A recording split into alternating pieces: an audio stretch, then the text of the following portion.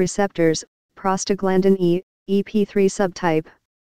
A subtype of prostaglandin E receptors that specifically couples to GTP binding protein alpha subunit GI and subsequently inhibits ADENYLYLCYCLASES.